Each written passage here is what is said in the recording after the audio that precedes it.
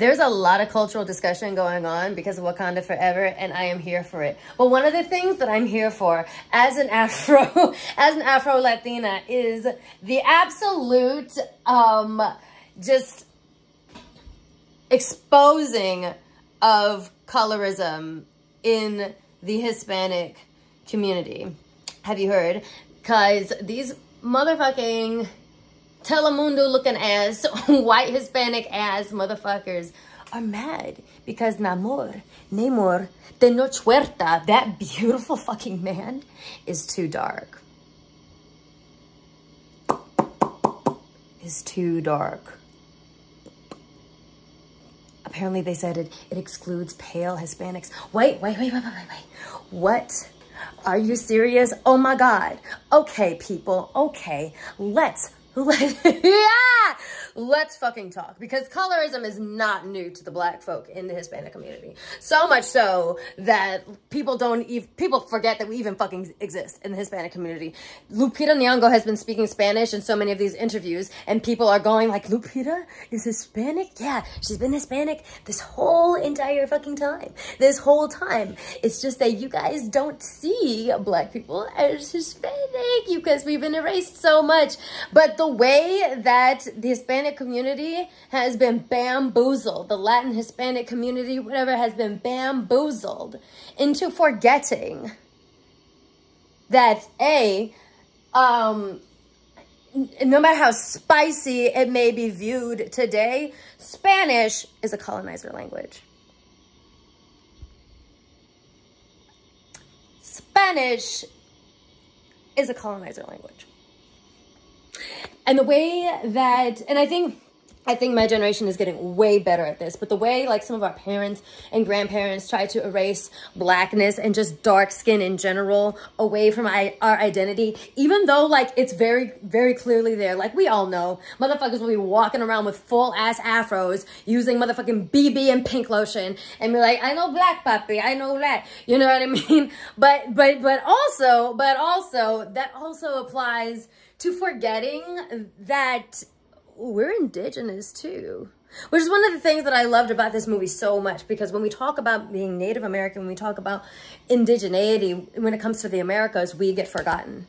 We get very much forgotten, like the, the Central South American uh, indigenous. And I think it's because like we've been homogeneously bleh, lumped into ba basically what colonization created as Central America, Mexico, Guatemala, Honduras, Nicaragua. Like we've forgotten that before they fucking got here, we were, they, it was, we, Mexico, Central America, all that shit was fucking indigenous.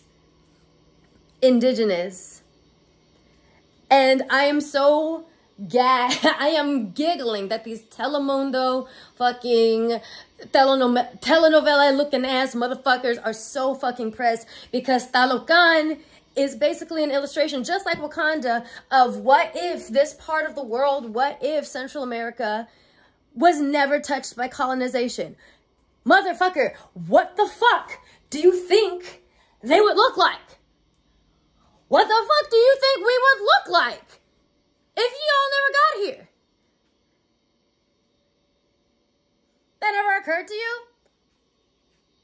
Or maybe it did. Maybe it did, but they're fucking mad. I it, it's it's such an obvious thing because like, I said, it's such an obvious thing that a civilization like that a civilization like Talocan would have brown indigenous ass looking people with indigenous fucking features. No, it's facial features, cheekbones, the foot, brown skin, everything. That is a very, very obvious thing. Like, I don't care who you are. That's not too easy to pick up. But I do think especially in the Hispanic community, that a lot of people are getting really fucking pressed because we are like especially like my generation i think in generation z we're educating the world more that hispanic doesn't just look like j-lo or eva longoria or whatever like hispanic looks like the Huerta. hispanic looks like lupita nyong'o like we come in all different colors and the way that the Hispanic community has tried to erase the indigeneity and blackness of our community is absolutely gross.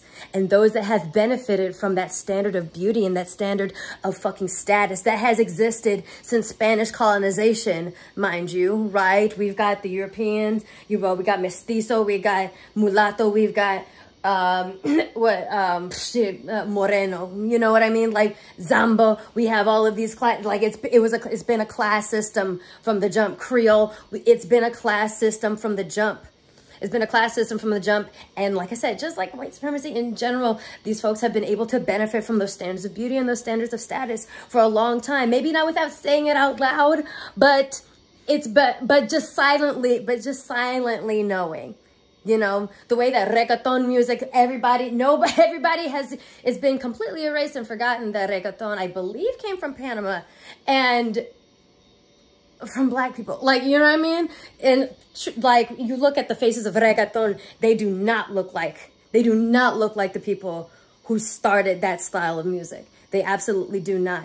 I think that a lot of members of the Latinx Hispanic community are very fucking mad because it's becoming less and less possible for you to benefit from that level of privilege and from the ignorance of the world because y'all were able to bamboozle them into thinking that everybody, that, that Hispanic looks a certain way. And then everybody that was darker skinned were just fucking forgotten. But now people like Tenoch Huerta are being put in the fucking forefront and reminding everyone that, hey, if we're being fucking honest, almost every brown Hispanic that you see is probably fucking actually indigenous.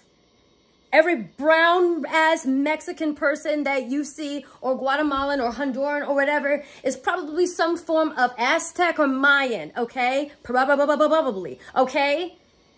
We, we're like, the world is being reminded of that. And I think that lighter skin and white, like white Hispanics are getting very, very fucking pressed about that because they're not, because they're slowly losing, slowly losing that ability to, um, slowly, slowly losing that ability to, to capitalize on that privilege. It's only, it may not happen very soon, but it's only a matter of time before the, like, people start calling out them telenovelas for featuring the most alabaster Hispanic people in the world and using the fucking, um, not even black, but mestizo and, uh, Moreno people as the help, as the maids, as the whatever, you know, in these shows. It's only a matter of time, and I know y'all are fucking scared, okay? It's only a matter of time and I know you're fucking scared and I'm so fucking happy about it. I'm so goddamn happy because growing up in the Hispanic community and being shamed for being darker and being like just